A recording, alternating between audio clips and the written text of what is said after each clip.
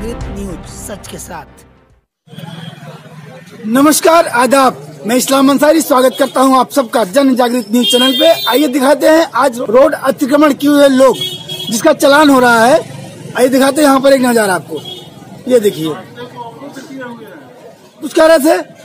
ये रास्ते को अवरुद्ध कर देते हैं। जैसे कि रास्ते को अवरुद्ध किए हैं आने जाने वाले परेशान चल रहे हैं गाड़ियाँ यहाँ पर जाम लगा देती हैं। जाम हो जाती खड़ी हो जाती हैं। जी जी जी।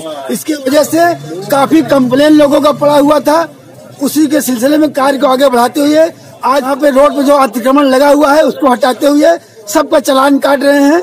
ये देखिए यहाँ का नज़ारा। जिसका इसका दुकान रोड पे लगा हुआ है चलान उसका कट रहा है बिल्कुल कटे। ये देखिए किसका किसका रोड पे दुकान लगा हुआ है, आइए हम दिखाते हैं।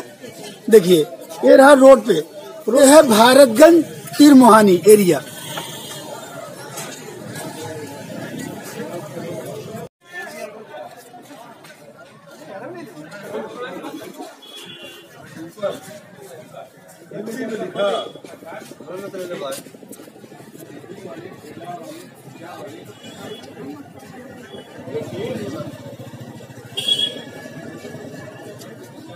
क्या करना होगा इसके बारे में ये बताइए तुम्हारी ठेलिया आधी रोड पे लगी हुई है।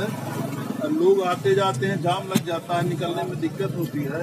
तो क्या ये किनारे लगा के खड़ी करके नहीं बेच सकते हो? जी सर है सर देख लीजिए आप। सारे एक मीटर है। एक मीटर अगर होगा तो बताइए आप। बताने? एक मीटर नहीं है। वो सामने दिख रहा है ये रोड कितनी चौड़ी है? कुल कहने का मतलब ये है कि अगर आप एक जगह नाली के उस पार बिज़नेस करते हैं तो कोई आपका चलान नहीं कटेगा। अब अगर नाली के इस पार रोड पे खड़े होकर बिज़नेस करेंगे तो यातायात आने जाने में दिक्कत हो रही है। हैं। हाँ इसलिए मुझे मालूम नहीं आपने इस बात।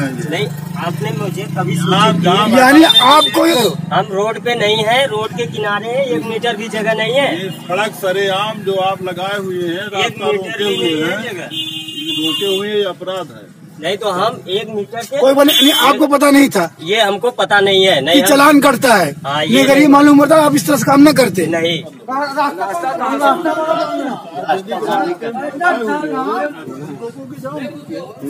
सफ़ाई हो रही तुम यहाँ तक आधा रोड को बंद किया सार्वजनिक रास्ते पे पूरा डालोगे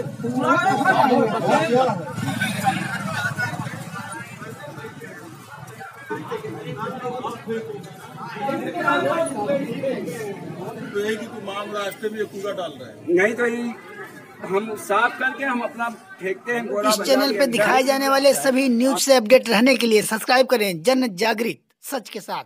धन्यवाद।